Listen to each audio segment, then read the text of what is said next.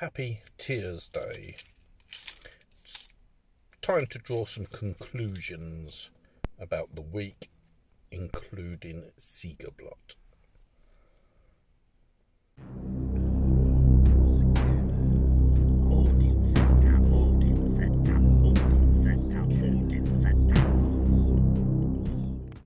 So it has been quite a busy week. Um, bank holiday weekend, etc., etc., etc. I think I chose wisely with the runes I did, just for seasonal enterprise or seasonal uh, passing, um, and sort of the the concept of reciprocity being really important. Um, Sigrblot has been more on my mind this year as as a heathen than the previous years. I think, in all honesty, just because becoming more aware of it and other aspects of my my practice sort of becoming or sitting into a comfortable space and not being like a, a, rabbit in headlights with sort of an overload of information. It's been a good weekend, or a good week, really. Um, I did some personal practice. We went to see Faun play live at Islington Assembly Hall which I think really galvanized a period of celebration, of, of victory celebration, as well as a gathering of um, heathens that came to come to came together in Canterbury to, you know, have a drink and talk. Um, we didn't necessarily talk too much about heathenry. Um, it was more about jo- a joyous occasion and enjoying the company of others, which in many ways really is a true victory. It really is important. A social aspect in life as social creatures, as tribal creatures celebrating and holding in your heart what celebration is is really important. Um, it was interesting yesterday driving home from Dover. It's feeling an attunement with nature can also offer um, signs of celebration or, or victory. While the weather wasn't great in terms of, you know, human uh, interaction, um, nature, as always, in equal measures can be terrifying, uncomfortable, but also beautiful.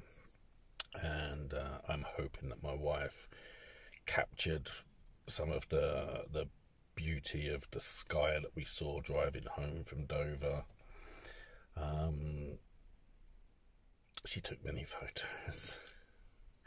Um, just because of the way you can understand how it is easy to be in awe of Sunna shining through grey clouds, and you see the the different layers of clouds reflecting the sunlight. Um, excuse me, I'm going to sneeze. it, it's easy to look a great formation of clouds and to see mountains or a representation of mountains and another world.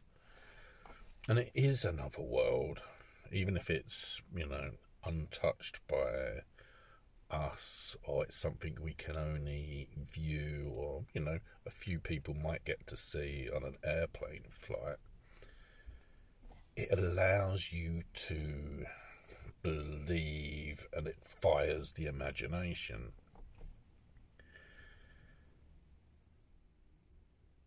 the one thing we did talk about driving home was something that's been on my mind for during the course of this past week. And it's you obviously see people mashing the connections together between Easter and Eostre. I haven't really to date, other than until I got home yesterday when uh, something appeared, see any mentions of the proximity of Easter to Sigrblot. And it's just that I'm, I'm a firm believer that, you know, celebrate this time of the year, or celebrate what you need to celebrate, however you choose to celebrate. It's, we all walk our own paths. Um, and obviously, when you can come together, that's great. I don't feel the need to, you know, harp on or battle the, the calls for, you know, Christianity took this from us, these dates or these holidays from us, and, or maybe they've been just sort of all chucked into a pot and stirred around. But it did allow me the the the the theory, if you like, that if Sigrblot is victory, and you know an ancient pagan celebration set at a time that fluctuates about this time of year in the same way that Easter does. It's you can also look at a a variation of that being that Jesus has his victory. The the return after he dies from the crucifixion is very much can be viewed as a victory, and it's almost like the, for this time of year there is a recognition towards victory, beating uh, an opponent or having a win. Um, and I'm not saying that Christianity copied this or there's any real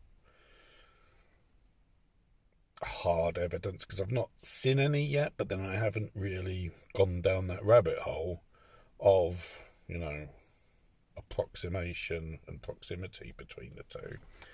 It's just something that has struck me as as a a line of thinking. Um,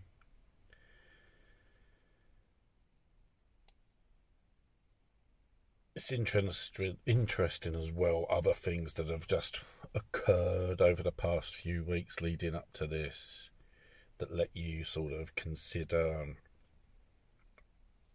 what are victories and what are defeats, and if there's any need for defeats. Um, I think it's more a case of something I'll discuss in another video in the next week or so once I've finished sort of uh, bubbling away thinking about it is sort of the power of sort of critique and how we as human beings respond to criticism or truth or or what is not truth. Um, but that's a complex subject for another video. Really, I just want to round off before I ramble on too long about sort of Sigrblot, and it's been, it has been a great week. Uh, I'm really positive. I feel a, a flow of positivity, um, and I look forward to sort of seeing what happens in the next few months. Um, as a final thing, I think, let's say gathering at the Unicorn Pub in Canterbury. We had a good time, and it was great to sort of have the various conversations we had, some of which were probably not fit for um, ordinary. Uh, let's just say they probably should have had a watershed. uh, as ever, really, it's just that sort of. It was great to share time with the people that came together, which is what I think is really important in heathenry. Um, people and great sort of coming together without any sort of uh, need to, you know, trump one another. But that's going to be it. Thank you if you've listened. Um, it's always great to meet people. And how was your Sigrblot? Feel free to comment, and uh, I'll see you tomorrow for New Rune Day. Cheers. Goodbye.